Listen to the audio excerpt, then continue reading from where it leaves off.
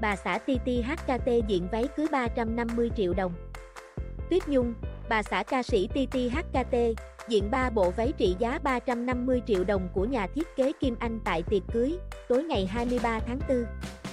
Nói về tác phẩm váy cưới được Tuyết Nhung diện tối ngày 23 tháng 4, nhà thiết kế Kim Anh cho biết chị lấy cảm hứng từ lời bài hát Hành trình yêu em, được Titi hát tặng vợ trong ngày trọng đại với tạo hình ngực trái tim đầy lãng mạn.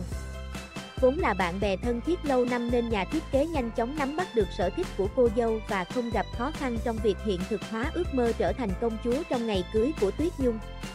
Kim Anh sử dụng đá topa ánh kim cương, ngọc trai ánh ivory, sequin ánh bạc, cùng Swarovski ánh pha lê được đính kết tỉ mỉ, tạo hiệu ứng đẹp mắt đồng thời bắt sáng để cô dâu thêm nổi bật khi bước vào lễ đường.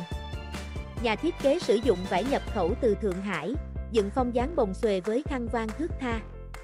Khi đón khách, Tuyết Nhung diện bộ váy bông gao với phần layer bồng xuề, phá cách từ dáng váy công chúa cổ điển. Toàn bộ phần đính đá của bộ váy đều được thực hiện thủ công với mục đích làm cho cô dâu tỏa sáng, thu hút mọi ánh nhìn.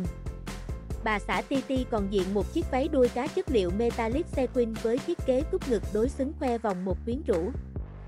Thiết kế tiếp lung được cải biên đầy sáng tạo, giúp cho vòng hai của cô dâu trông gọn gàng hơn.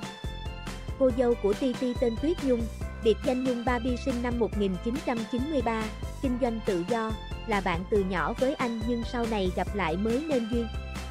Họ trải qua vài năm tìm hiểu trong bí mật cho đến gần đây mới công khai khi quyết định gắn bó. Các bạn hãy đăng ký kênh để cập nhật thông tin miễn phí mới nhất.